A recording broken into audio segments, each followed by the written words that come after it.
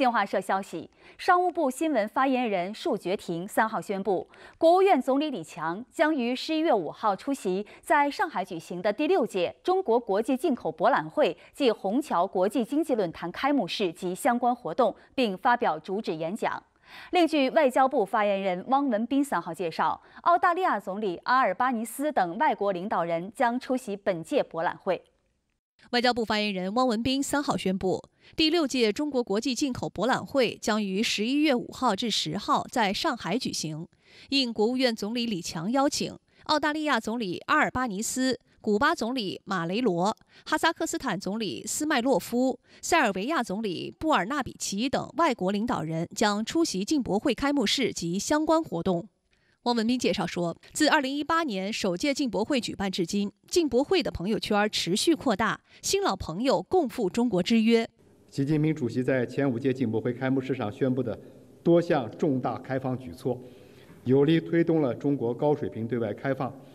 充分彰显中国致力于建设开放型世界经济的信心和决心。本届进博会预计将迎来154个国家。地区和国际组织的来宾，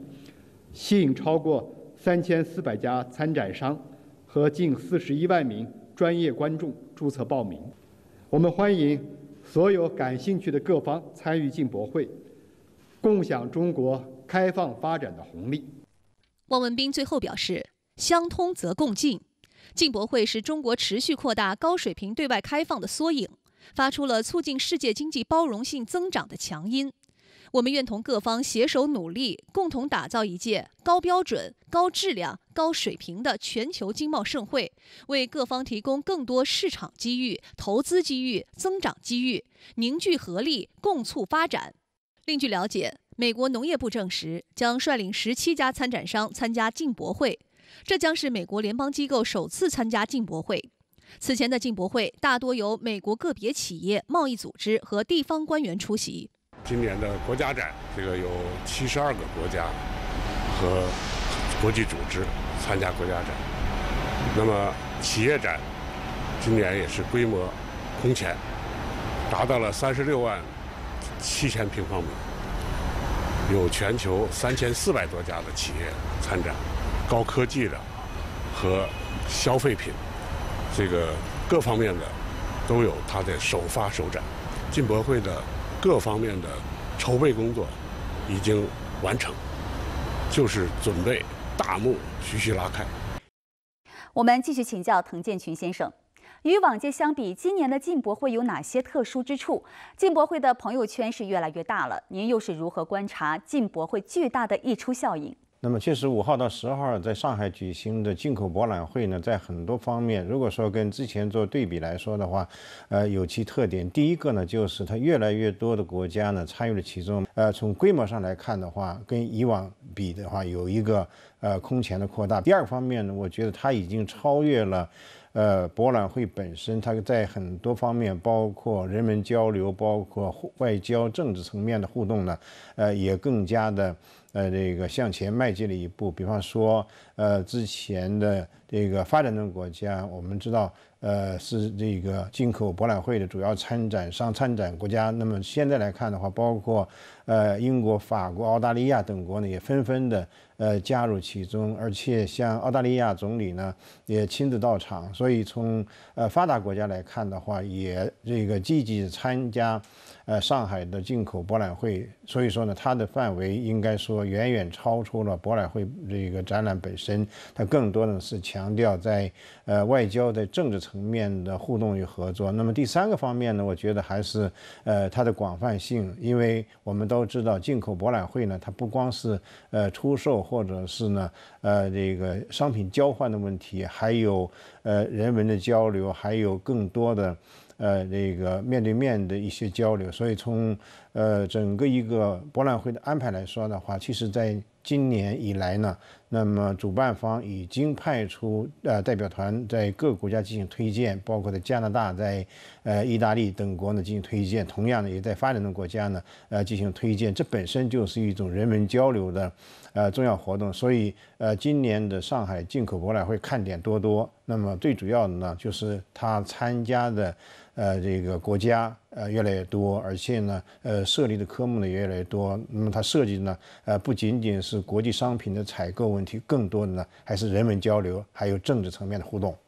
嗯，在一些国家推行贸易限制、地缘冲突加剧、世界经济不确定性增加的背景之下，举办进博会对于我们构建新发展格局、助力破局所谓去风险，具有着怎样的意义？我们还注意到呢，今年美方预计派出有史以来最强大代表团参会。尽管美国企业也曾参加过进博会，但美国联邦政府机构的首次参与又有什么样的特殊意义？呃，从最近几年的情况来看的话，正是由于美国带领下的话，西方的部分国家呢，呃，加入了对中国的脱钩断链，像现在又成为呃去风险，所以呢，在经贸合作方面呢。那么美国设置了层层障碍，现在回过头来看的话，这种障碍并没有阻挡中国跟国际社会的交流，呃，并没有阻挡中国的呃经济发展和社会进步。所以呢，美国现在掉过头来呢，它其实是也是意识到，呃，如果说一味脱钩断链去风险，一方面它很难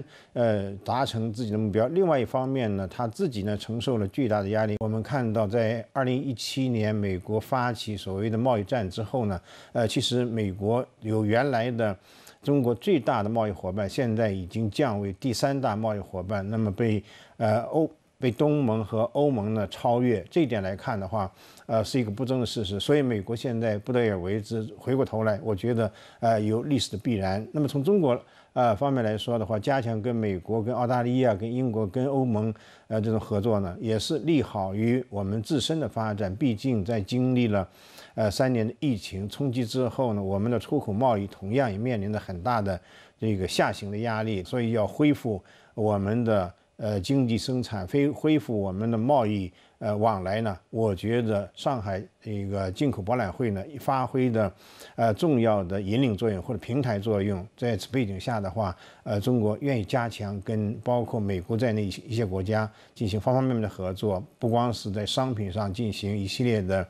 呃，采购。那么同时呢，我们也希望美国呢能够呃进一步这个回心转意，认识到他所谓的这个脱钩断链这种这个去风险呢，应该是呃对自己是非常不利的一种选择，而且呢也难以呃阻止中国的进步。所以从这种这个角度来看的话，中美两国加强合作，不仅利好于呃两个国家，同样对于世界经济的复苏，对于呃地区的贸易呃合作呢，都会带来利好。